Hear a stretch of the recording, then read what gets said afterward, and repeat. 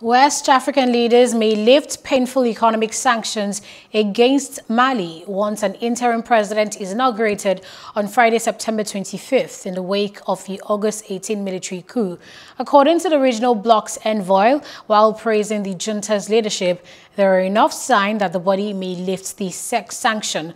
The comment suggests the 15-nation ECOWAS community of West African states, ECOWAS, would accept the candidates picked this week to lead the transition of power, although they do not have the fully civilian background the bloc had demanded. The easing of sanctions would be a relief for Mali, whose imports have slumped 30% since its neighbors closed borders and halted financial flows after the deposing of President Ibrahim Boubacar.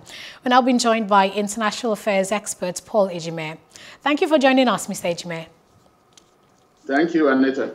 Do you think ECOWAS will lift the ban on Mali, having appointed a civilian, though a former military personnel? Well, I think they are working towards that. Um, ECOWAS mediator, former Nigerian President um, Goodluck Jonathan, is back in, in Bamako. Like, um, you know, ECOWAS um, leaders agreed um, in, um, in a mini summit in, um, in Ghana.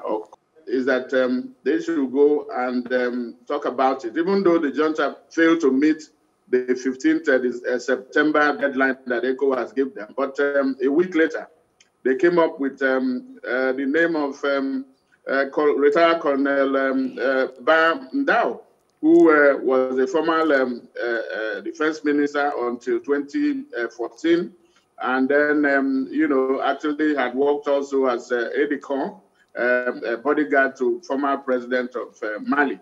So I think they are working on it because uh, those are the conditions. But what has happened, uh, they, they, they, are, I think they are being clever by the, the, the junta. Um, instead of going for uh, a, a, typically civilian person, they have brought, they have brought um, uh, a retired military um, uh, uh, personnel. And then they say, once a soldier, always a soldier. And by the way, the vice president is also the leader of uh, the current junta, uh, Colonel um, uh, Assimi Goita. So it appears that um, the junta they have gotten practically um, all that they wanted. They suggested 18 months transition against the 12 that ECOWAS suggested. And if ECOWAS should also allow them to go with this uh, uh, composition, it means that um, really, what choice do they have? It's difficult to approve uh, uh, the military once they have taken power. So um, they have to live, the, live with it, uh, try to manage it. That is what it is, and see how far uh, it goes. But it's tricky.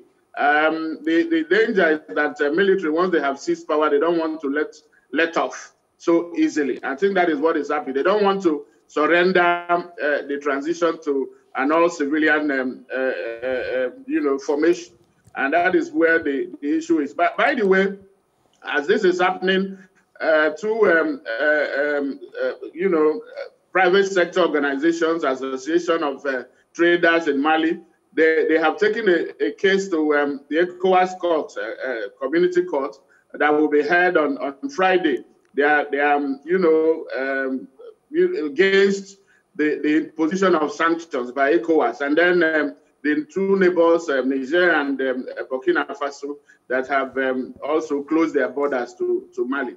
They are saying that this is um, against, um, you know, it, that it wasn't, it didn't follow due process and all that. So you can see that a lot is happening, uh, both internally and then externally, while the international community is doing all its can through ECOWAS to make sure that um, the military goes back to the barracks.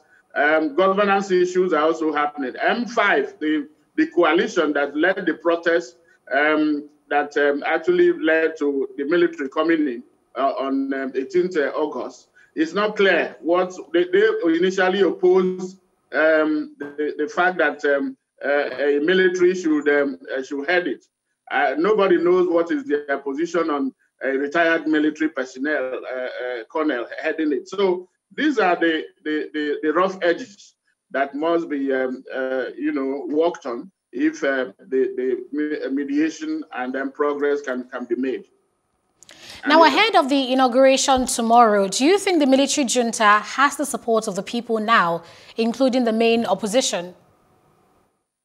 Well, that is what I alluded to. That um, the, the, M5 um, uh, June um, uh, 5 movement called uh, M5 uh, RFP, they were not um, in support of um, uh, a military heading it, and they had actually complained that what um, the military has announced was not what happened during a national uh, consultative meeting.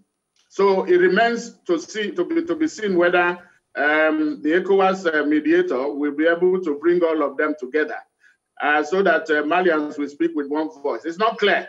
Uh, they haven't said anything um, up till now, um, but um, uh, uh, whether they will accept the person, the government that will be inaugurated tomorrow, is another matter. Those are some of the challenges that ECOWAS and the mediators will have to face. Thank you very much for your thoughts, Mr. Ejime. You're welcome. Thank you for having me.